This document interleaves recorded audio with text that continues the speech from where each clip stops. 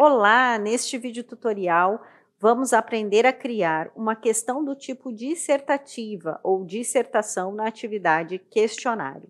Vamos então em nosso banco de questões, vamos criar uma nova questão, vamos escolher a questão dissertação e adicionar.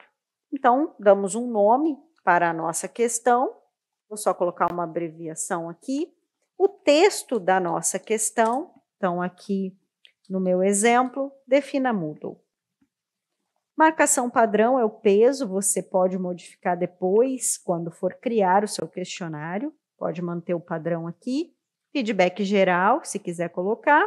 E aqui vamos às configurações de opção de resposta. Então, o formato da resposta, por padrão, vem o editor HTML, mas você pode escolher que ele venha com o seletor de arquivos, se você quiser que o estudante envie um arquivo, ou texto simples, vamos manter aqui o padrão. Exigir o texto, tamanho da caixa de entrada, quantas linhas, se permite anexos ou não.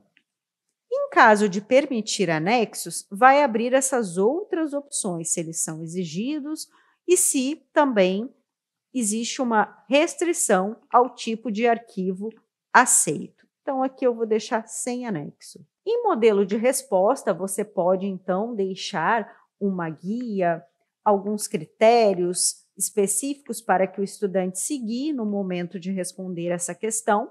E por fim, aqui informações do avaliador, caso você esteja trabalhando em um contexto de docência coletiva com mais colegas, professores, tutores ou mediadores, é bem interessante já deixar aqui uma rubrica de correção, uma chave de correção para que os colegas, então, quando forem fazer a avaliação, tenham com clareza os critérios para avaliar a resposta do estudante. Por fim, salvar mudanças está criada a nossa questão do tipo dissertativa.